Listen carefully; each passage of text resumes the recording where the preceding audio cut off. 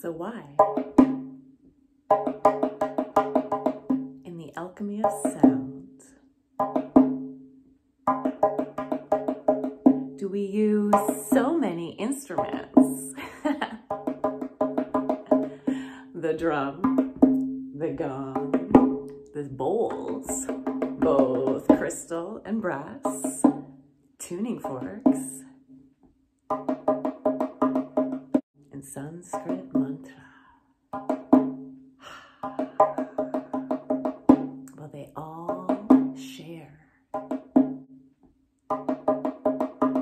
many of the same tools.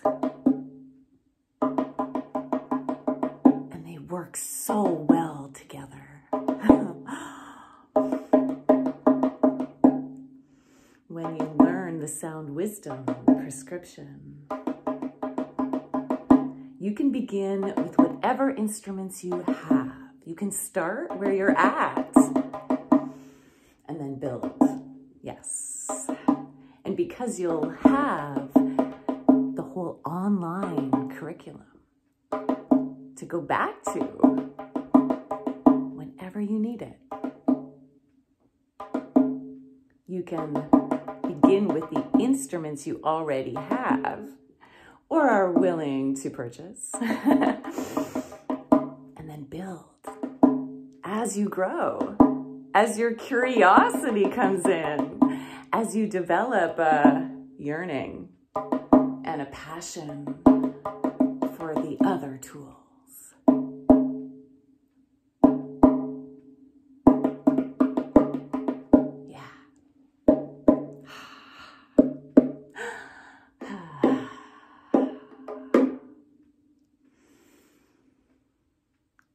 Come and learn the tools of sacred sound, the sacred instruments of the frame drum, gongs, Himalayan or brass singing bowls, crystal singing bowls, tuning forks, and Sanskrit mantra, learning the refined alignment of the mouth, just like the refined sound codes of each of the instruments, but sound prescriptions, sound codes, sacred sounds, open to you.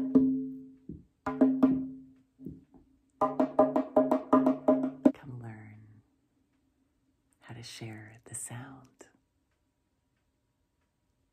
the sacred sound of sound wisdom.